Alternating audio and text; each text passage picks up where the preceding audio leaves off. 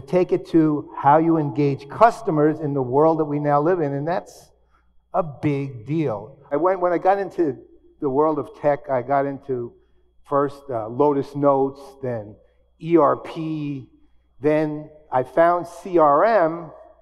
Kind of made my career in that, and I wanted it to be something really big. It was, but not the way I wanted it. And I was trying to figure out why it didn't become that, and I realized the world had changed dramatically. Now, a lot of you probably think when I say that, that, yeah, you know, 15 some odd years ago, we had a business revolution. And if you actually think that, you'd be dead wrong. It's not what we had. We actually had a communications revolution, right? And that means with whom we communicate, how we communicate, what we expect of them communication, how frequently we communicate, and how quickly we want a response transformed. And how we create, how we distribute, and how we consume information transformed. And you can say, yeah, business, right? No, every institution on this planet was changed by that. And in addition to that, almost every one of us as individuals was changed by that. So that what we had was a digital communications revolution that transformed the world and how we live in it. Then the question became okay, well, we're in business. Some of us are small, some of us are mid sized, maybe there's a few enterprises represented here. How did that impact how our customers are thinking about us? Or how did it impact us as customers ourselves? And the first one was what I said how we communicated had changed. But then we also had to think about what our expectations became. Because it was no longer just products and services, it was products, services, experiences, and also, by the way, the tools that we were provided to, con- to handle our own interactions with those businesses. That made a major difference. We were no longer just expecting good products, good services. We had to have all of them or it wasn't enough. So, what happened for that? Well, then it got the attention of executives in boardrooms all across the world, and it became a matter of real concern to them. If our customers' expectations are changing, then how do we deal with it? Because it's not something that was immediately obvious to anybody when if other than lip service, you know, yeah, our customers are changing, we got to do something, and we are. But when somebody said, What are you doing? They said, Well, scratching our head actually at the moment, but we'll figure it out. So what did they do? They started to figure it out. But before they figured it out, we started hearing all the typical stuff that happens when you're starting to talk about something a little bit different, a little bit new, and then there was all kinds of confusion over definitions in the market and how things were going. Because, you know, at that point, we already had this. And this had been around for a long time, right? It had been around for probably 10, 15 years. We were hearing about customer experience all the time. We were hearing about customer engagement, and especially the top two were being used interchangeably, and yet they're not the same, and it actually will make a difference how you function if you don't actually understand that difference. Now, when I entered the world of CRM, this is what I wanted it to be a science of business that attempts to reproduce an art of life, which is how human beings interacted. And that's a rather lofty idea. I wanted it to be a philosophy, I wanted it to be very strategic in everything, I wanted it to be the way that you did things, lived your life, etc. It's not what it turned out to be. This is what it turned out to be. I'll let you read it. It's a long definition, it's a little kludgy, but basically, CRM becomes the technology and the systems you use to enable your business operations around customer facing activities. And if I say to you, tell me about CRM, what you would tell me that, I presume, for the most part. Right? Something related to that. You say, I use Zoho One. I use Zoho CRM. Right? You wouldn't say, yeah, it's our philosophical outlook right? It's our strategic foundation. You'd say it's what we use. And that's okay. I mean, I fought the fight till about, I want to say 2014, and then I finally gave up on the battle because I wasn't winning. In fact, well, I, no, let me put it another way. I lost, right? So uh, this is what it became. But We then had to deal with other definitions and other things because, you know, if you don't clarify what you're thinking and doing, then your customers are never going to understand what you're thinking and doing. And so we began looking at customer experience. Now, one of the leading um, thinkers on customer experience was Bruce Temkin, who ran, was a Forrester analyst, became, uh, ran his own group called the Temkin Group until they were acquired by Qualtrics, which was then acquired by SAP. And this was his definition of customer experience the perception that customers have of their interactions with an organization. Fair enough, because it's the bigger idea. This is my definition, though, which is the one I kind of stick with. How a customer feels about a company over time. Right? And the reality of this one is no matter what you think, and no matter how many companies claim this, you can't enable that with technology. It's impossible. It's a feeling, it's emotions, right? You cannot enable them with technology. How a customer feels about a company over time involves all the interactions they have, what the last interaction was, what the very first impression they had of your company. And then it also involves at a different level what Ray was talking about, a whole other idea of the customer experience, which is around consumable experiences. What he was describing about Disney being a perfect example of that. But there's one reality that kind of drives all of this stuff. And it's a very simple reality, which is this. If a customer likes you and continues to like you, they'll continue to do business with you. If they don't, they won't. And it's not as complex as that is because every customer's idea of what they takes to like you is different. It's as simple as that. I mean, how many companies that you got disgusted with did you continue to do business with unless you absolutely had no other option whatsoever?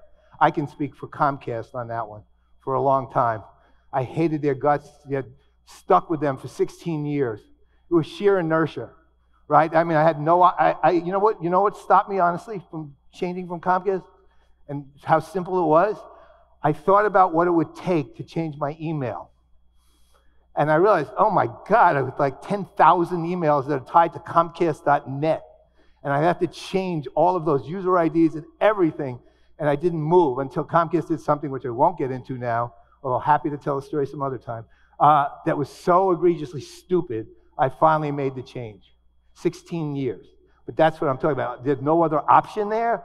But other than that, you switch when you don't like that, uh, that business because the way they treat you.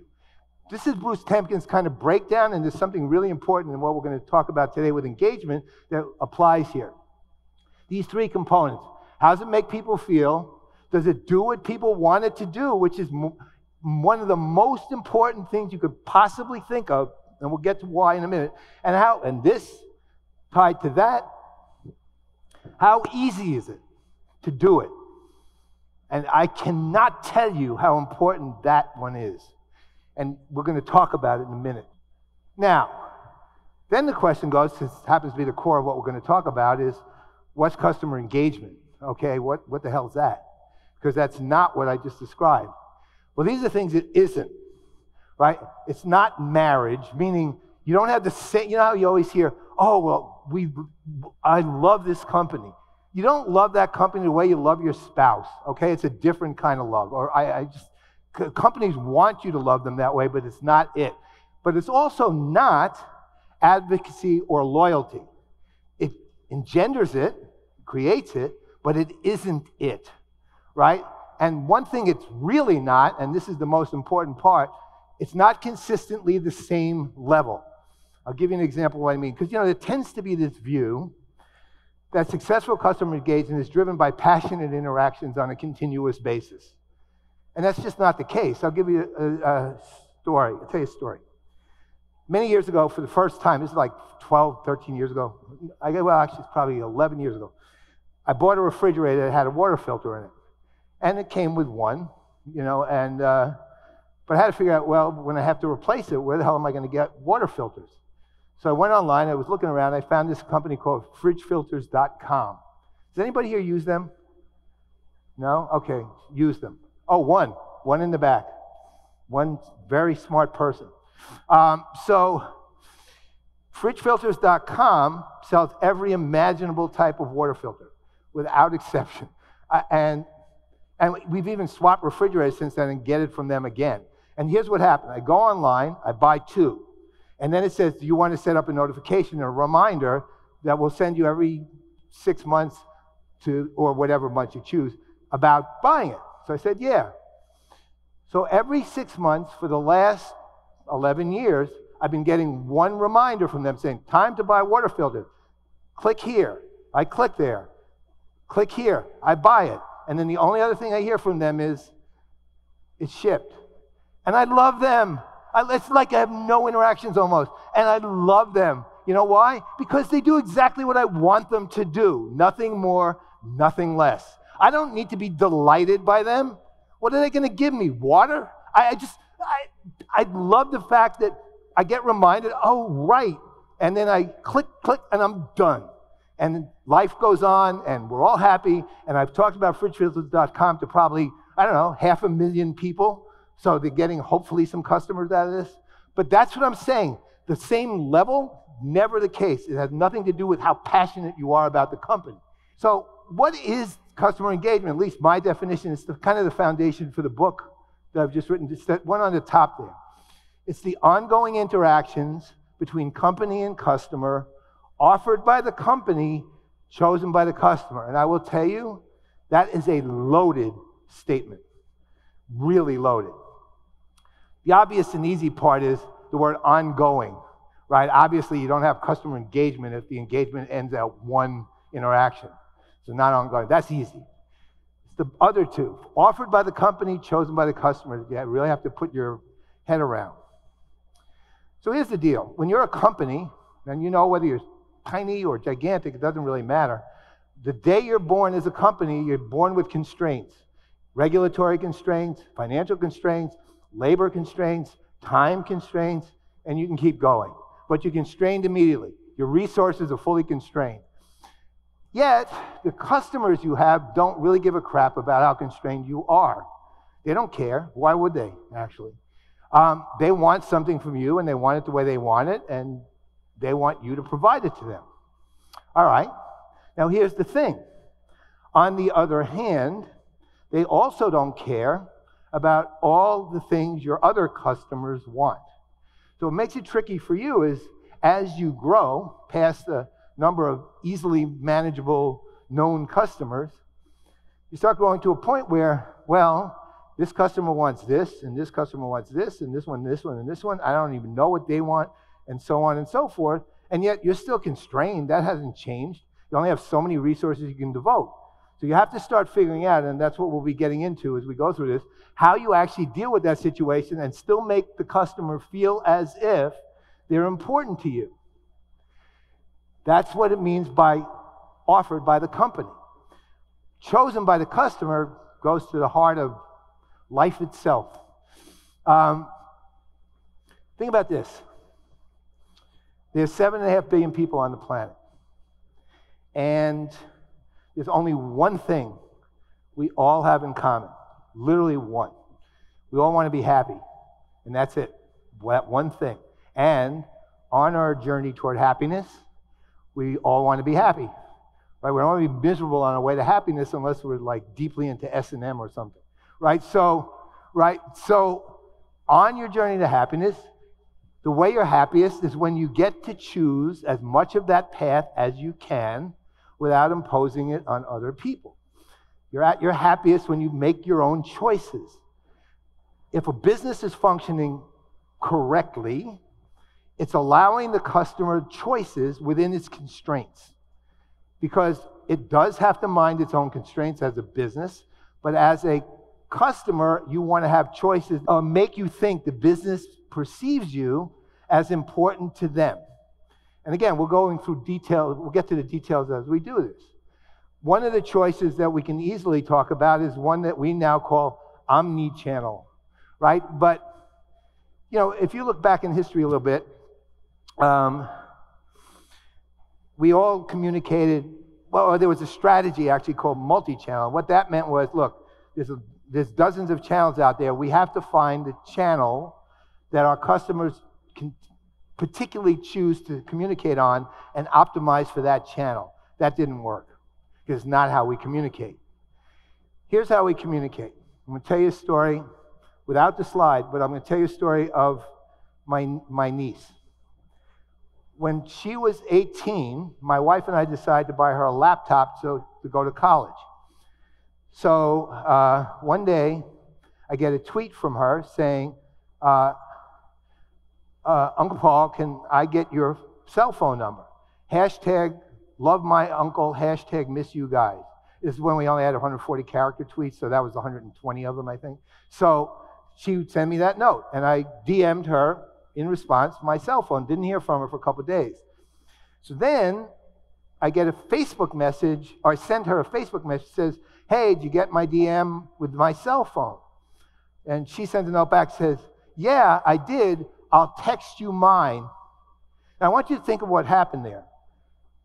DM, Twitter, cell phone, text, Facebook, all in literally two, two interactions.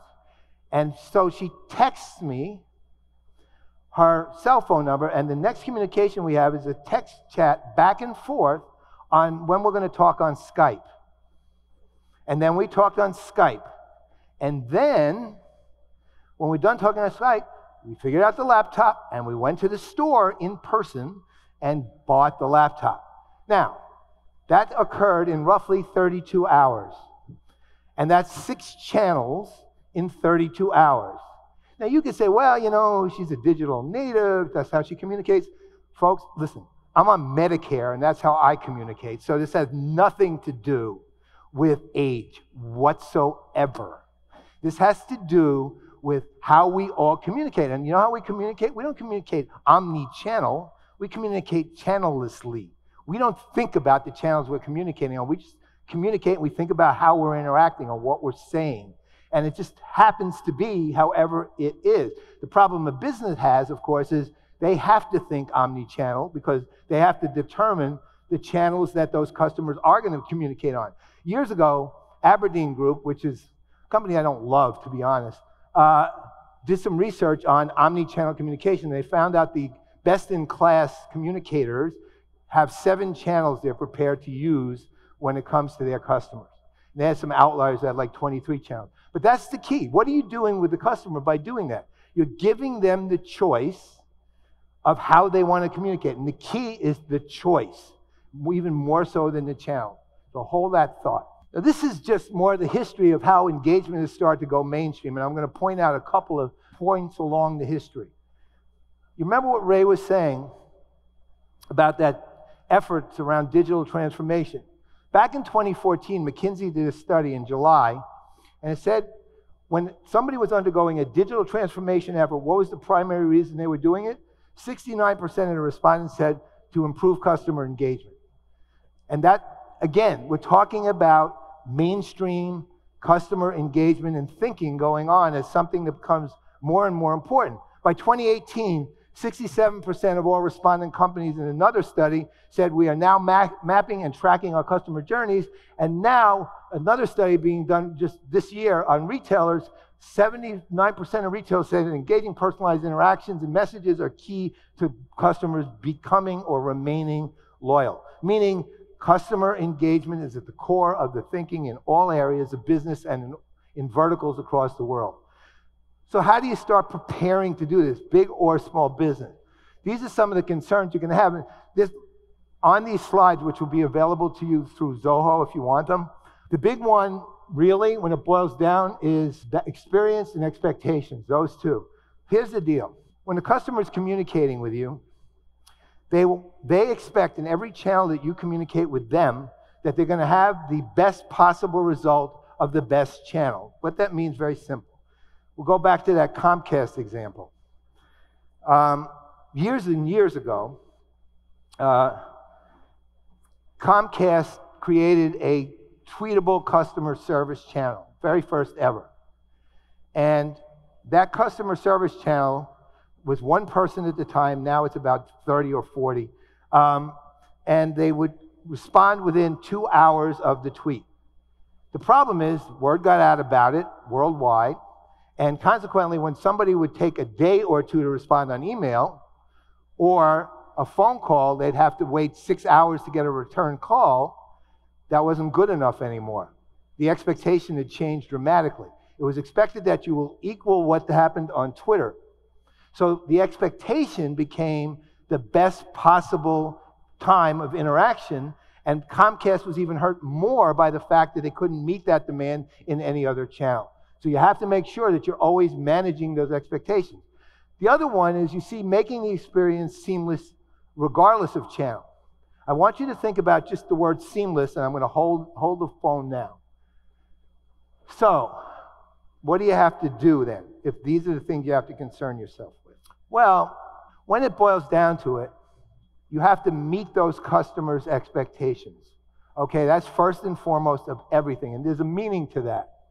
First, they're going to need this that you have to provide them with the products and services that you provide, whatever they are. You have to provide them with the experiences that Ray was talking about, meaning things that lead to the outcomes they're looking for that are not necessarily uh, products or specific services, but are more total than that. And the tools they need to make it easy. I'll give you an example. We'll go back to Disney.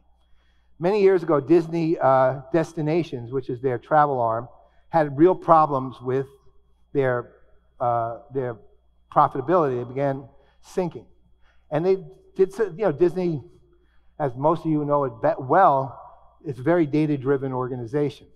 They did their research and they found that one of the reasons that they were having so many issues was people were sick and tired of these extremely complicated vacations that they had to deal with travel agents for hours upon hours upon hours before they got it right. They were so tired at the end of dealing with travel agents, they had to sponsor, uh, do a second vacation it was so bad. So, what did they do? They built a set of online tools on the destination site. And what the tools did? Basically, you went online, you chose the packages you wanted. If the pri- you, you saved it if you didn't want to finish. You came back. If thing, the prices had changed, you were notified. If there were recommendations that would enhance it, you were notified. And then you finally completed it at your own pace. Of all the things I just described, you know what the most important thing was? The save button. The save button gave you control over the choice, right? Because you could go to it or leave it at your leisure. And that was critical. Next year, literally within a year, again, Disney attributed, at least in part, to those changes, up it went, right? Revenues went back up. Meaning, you're starting to see things when it comes to the idea of making sure the customers can control their own conversations with you. That's where the tools really come in. That's why you have systems of engagement now, right? As and in addition to systems of record. On the consumable and experiences side, that's one place you can actually create experiences and enable it with technology. A good example, look at American Girl. How many people have brought their children to American Girl stores? So what happens when you go there?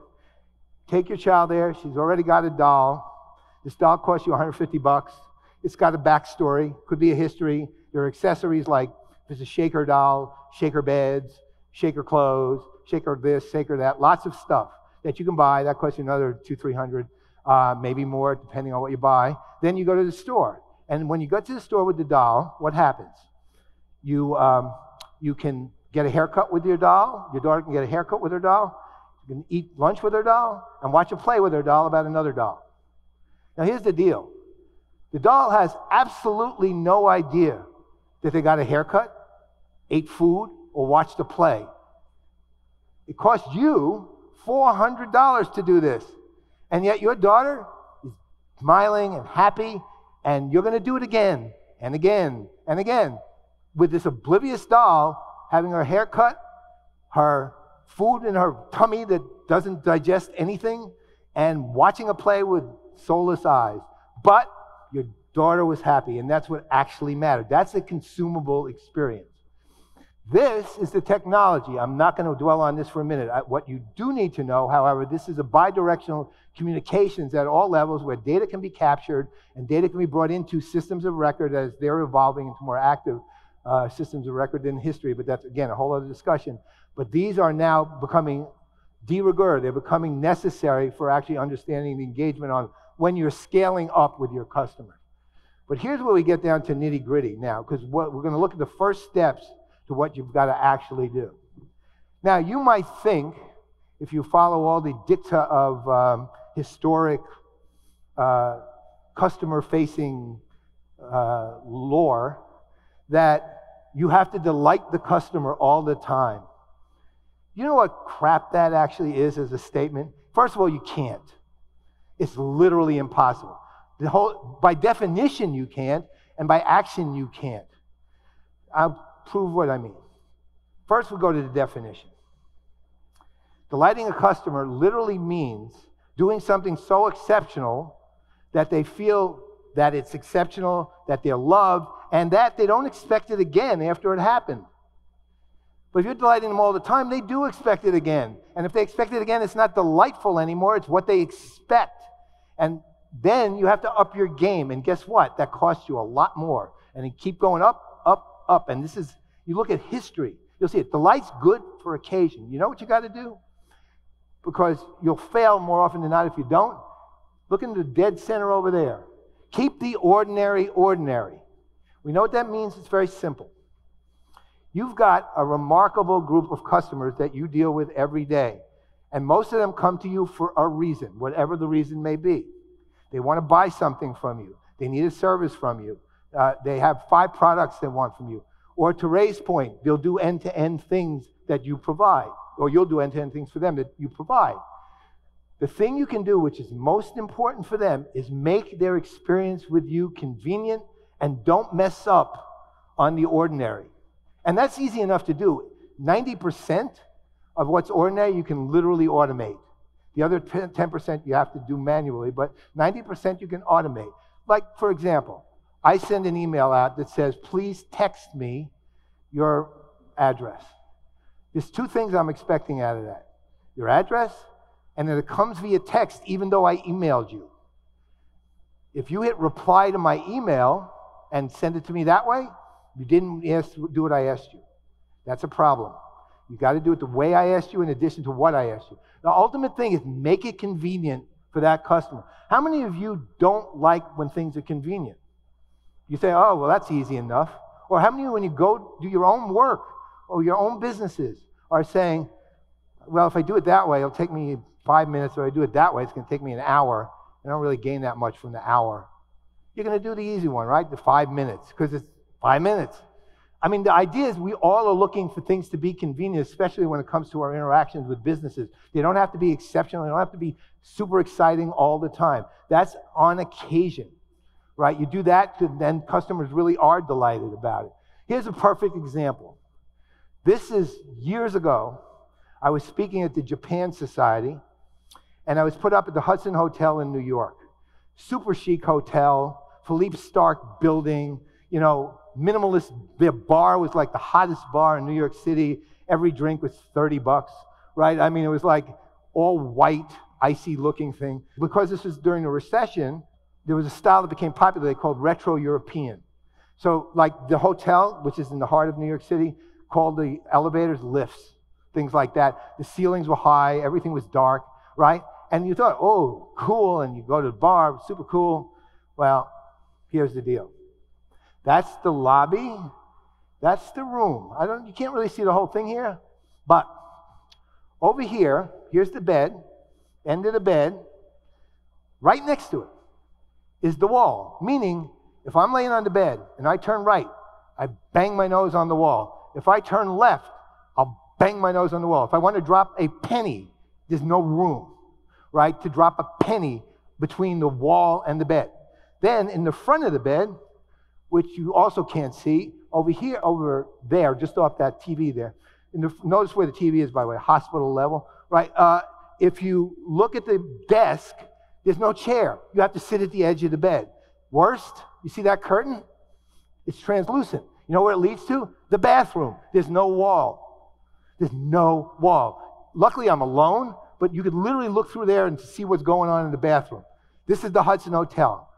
Now, I wrote a big blog post on this called the margin of utility. That's what I call it. Meaning, there are certain things you expect out of a hotel, like the ability to work and sleep, right? This didn't meet any of them. As cool as the hotel was, as prominent an architect who built the building, as hot as the bar is, this doesn't even meet the minimum standard for my expectation of any hotel in the entire world, including a flea bag, right?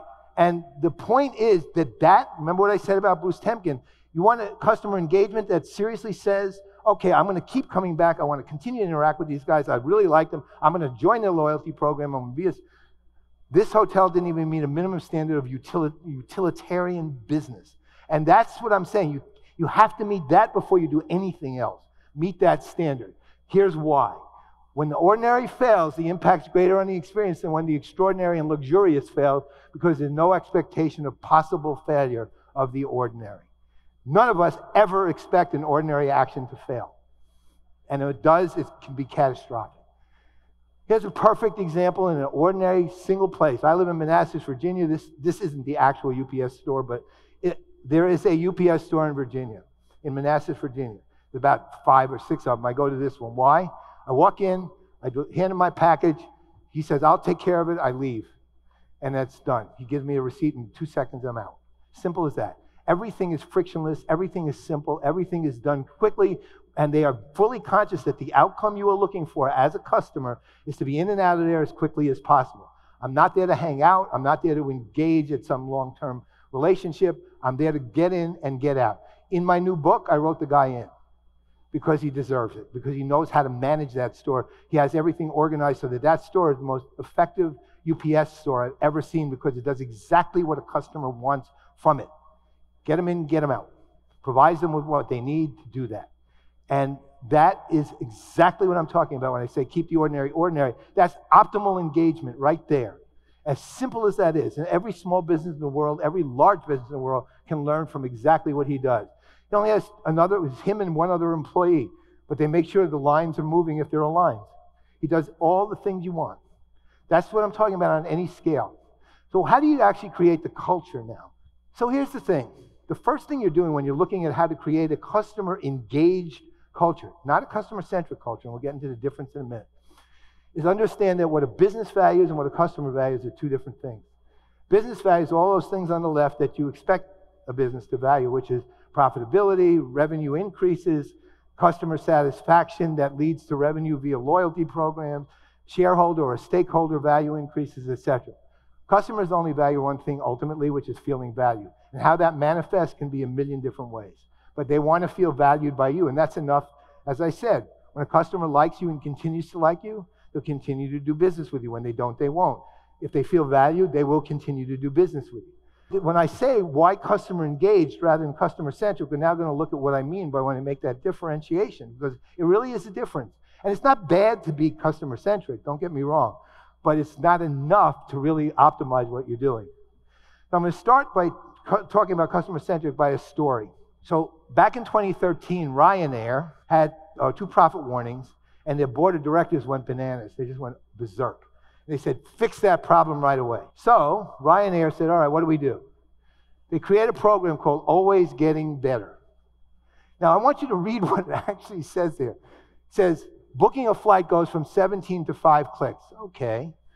But look at the next three 24 hour grace period for canceling the flight without penalty. We expect that of every airline we deal with.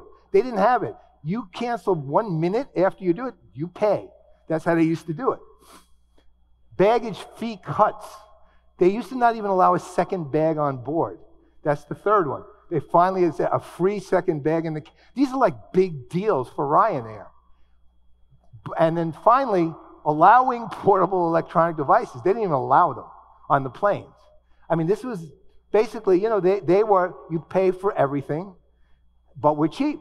And that's with their model, and it worked. They're the largest airline in Europe right now. But here's the deal they implement this program, it turns around. That, highly customer centric, it was, even though we expected, their customers didn't. Highly customer centric, but here's the kicker, and this is where the difference is. Michael O'Leary, who's the CEO of Ryanair, actually made this statement right after.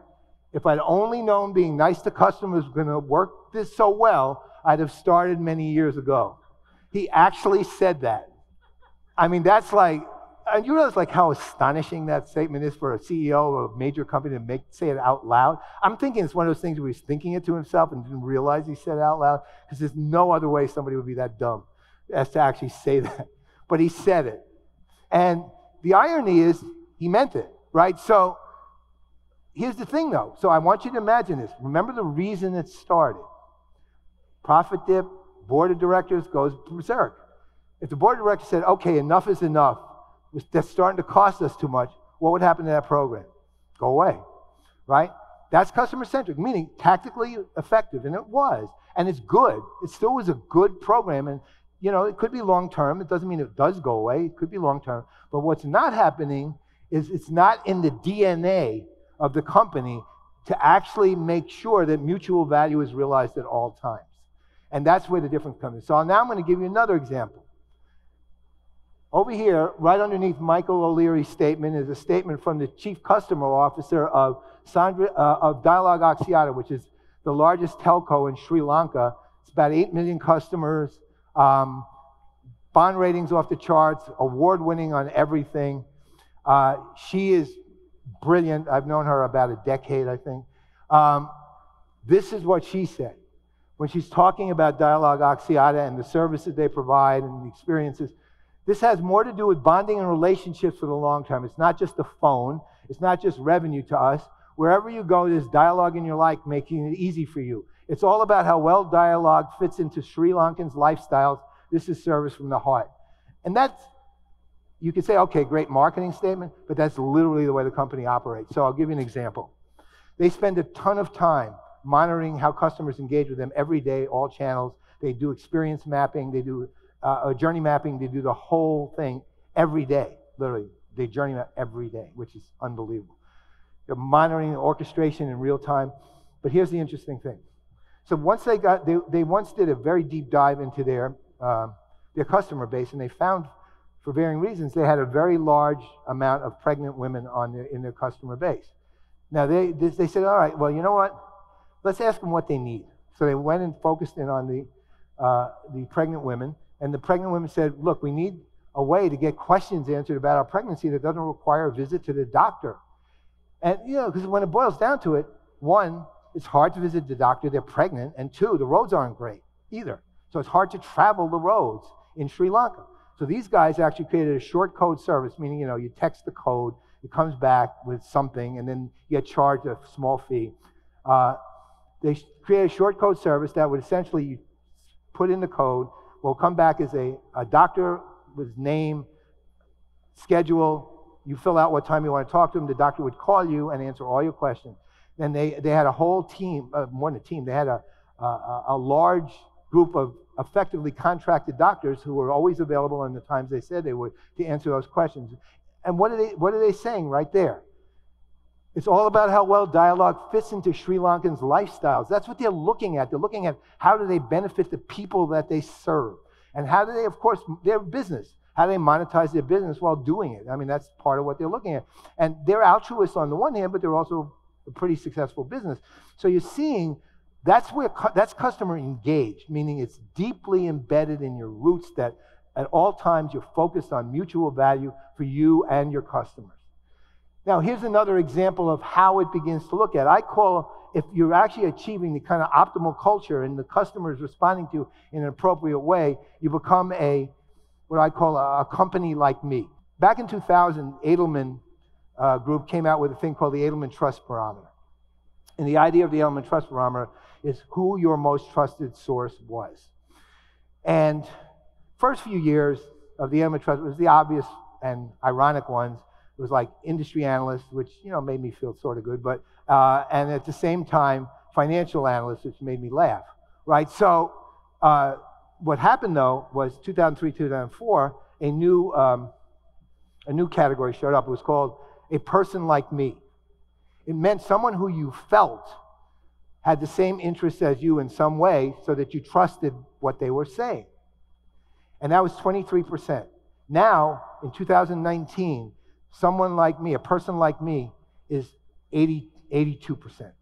Is the, they are the single most trusted source of, of any kind of interaction with other, other institutions or individuals. Now, the interesting thing about that is that that person like me who you trust because you read a review site and you're looking for specifics about best something or another, you're not sitting there worried about the pedigree of the individual you're reading. You're automatically trusting them, actually, because they're also interested in what you're interested in. Like, you're looking at a restaurant review site, and the only thing you, are saying, yeah, I like this, I like this, I like this, and then you, the email address of the thing, which the only one you know is like rabbiddog at gmail.com, but you're still trusting them, even though you're thinking, wow, whoa, maybe they are a rabid dog, you know, but you still you trust them because they're similar interests. Well, the best possible scenario, again, I use this as a metaphorical term, obvious, it's very hard to actually achieve that, is that the customer has to feel that the company has their best interests at heart and at the same time are similar to them in makeup and like and let's say and and in the way that they each want to interact with each other. The Chicago Fire, which is a soccer club in the MLS, actually had that kind of epiphany a few years ago. They used to be disastrous. So it's like they were, stadiums were 60% empty. And they used this generic messaging because, you know, their marketing was based on nothing really other than being cute, as opposed to based on what the customer is really looking for, what kind of outcomes they want, what, how the customer feels about them, etc. So their, their, out, their thing was Chicago on fire. Isn't that clever when they named the Chicago Fire, right? Okay.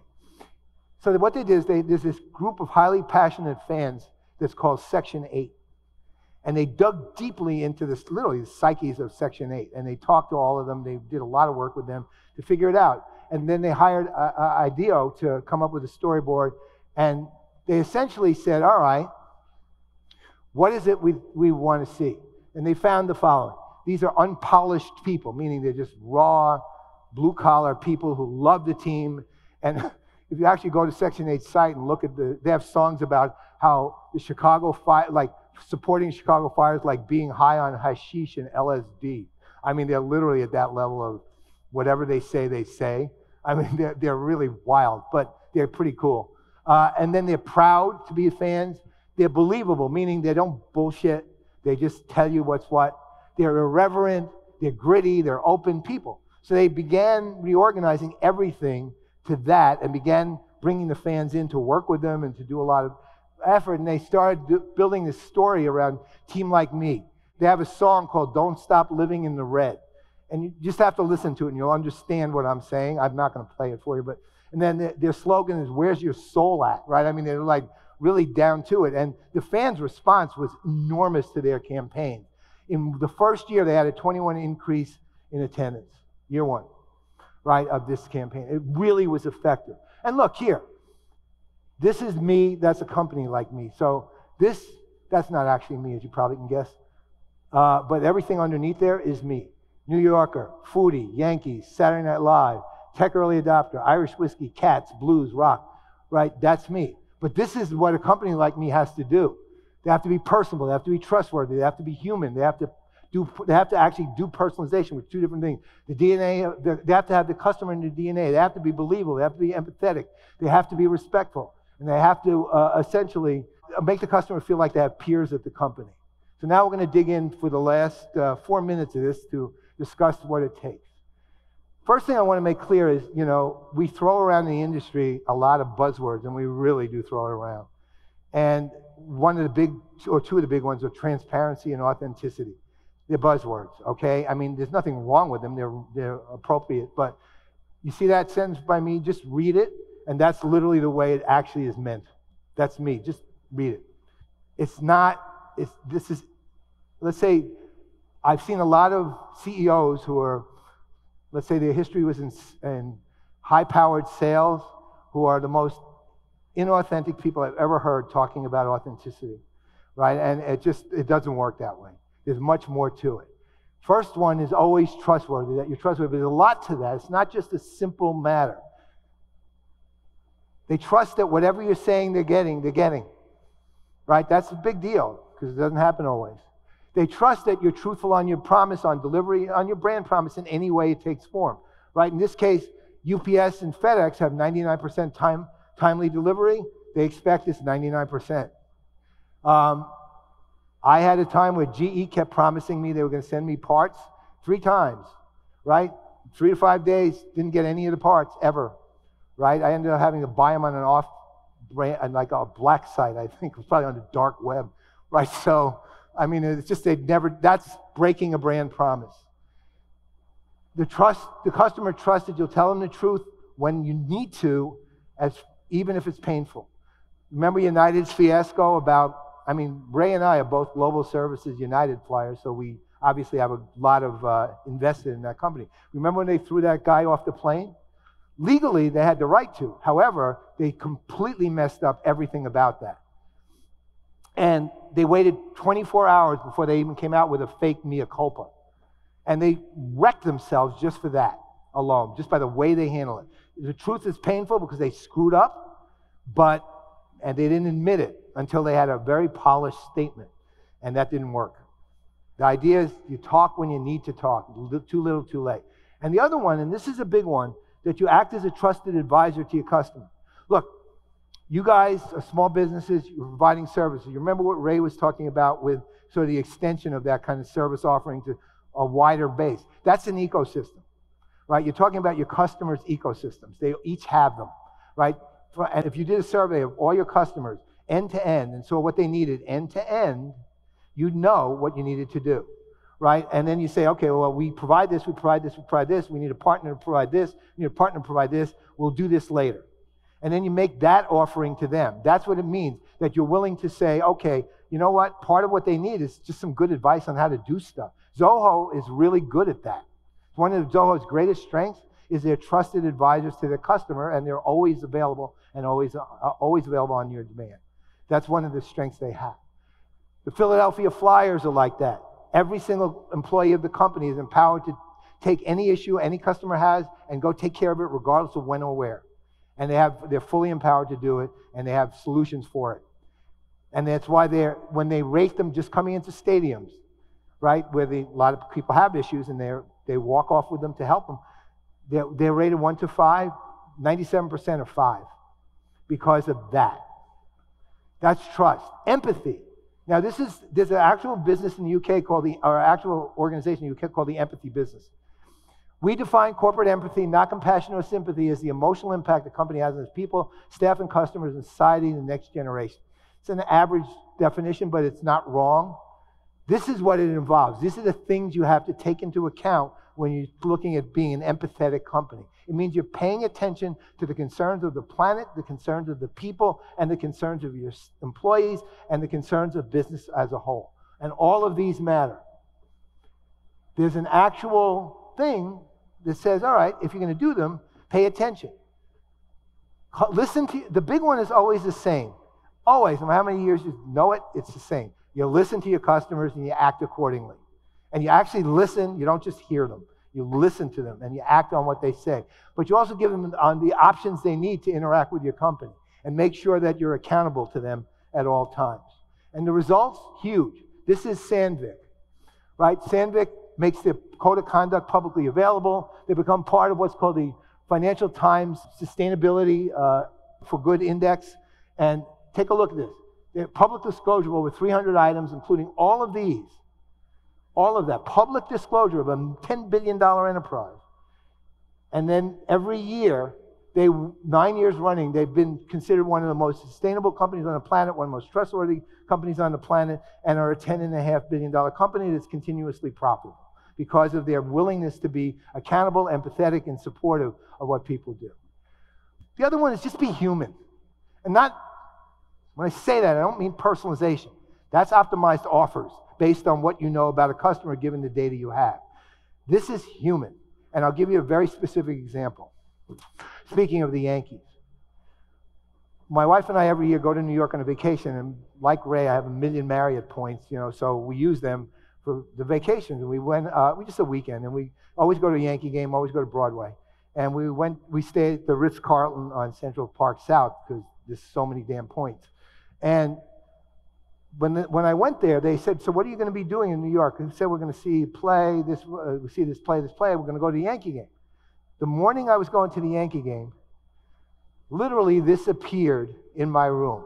I don't know how well you can see it. This is a tray of cookies. These are gluten free macaroons. And the interesting thing is, my wife was, is gluten free. The only person we ever even mentioned that to was not on our profile, was to the manager of the restaurant but somehow that got included. And this, the Yankee symbol, is made out of white and dark and milk chocolate. And they dropped it in our room, and it says here, have a great time at the Yankee game.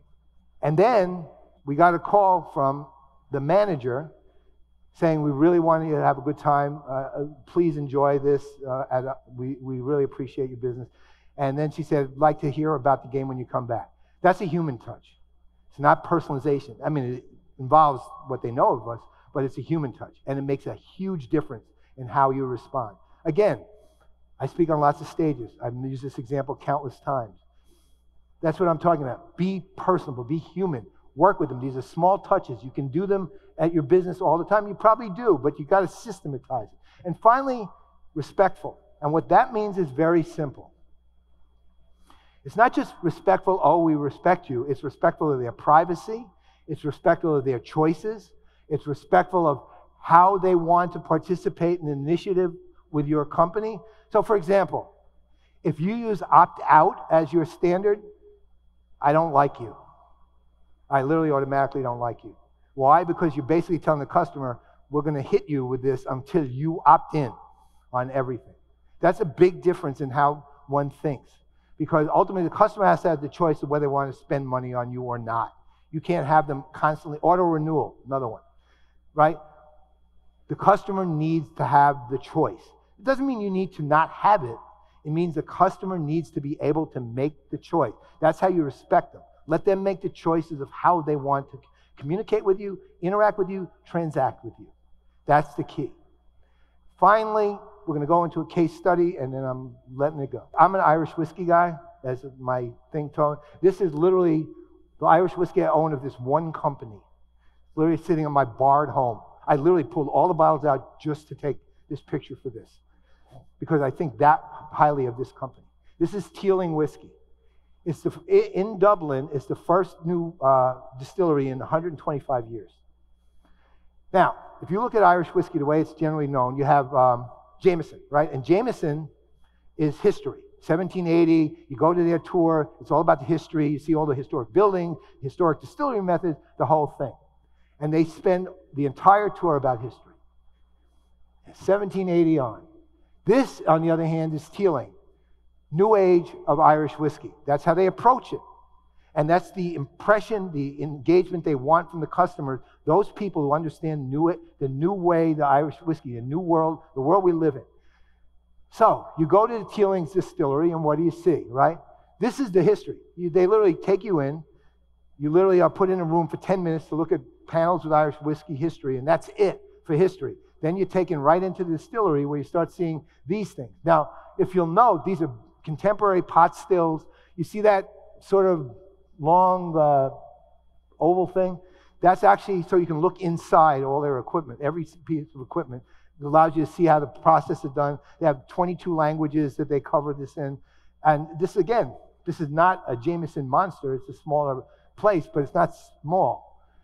This is the tasting room. It's set up deliberately to be kind of exquisite and luxurious, but still contemporary in look. This is really what it looks like hipster hangout for Dublin. A lot of people, they're in a Tony kind of hipster neighborhood. You know, they're doing all that kind of new market, I think.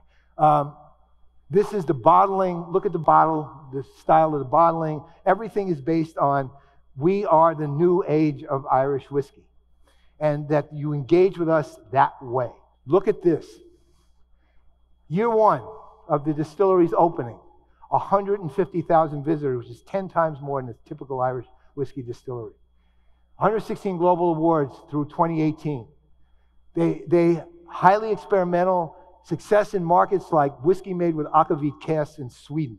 I mean, really willing to go to that because they understand the customers they're dealing with. They have the data on what they do, how they think, how they live, how they grow. 37% revenue growth within 2016 to 2017. Last year, it was 62%. Meaning you're talking about significant growth because they're focused on engaging customers and they understand them exceptionally well.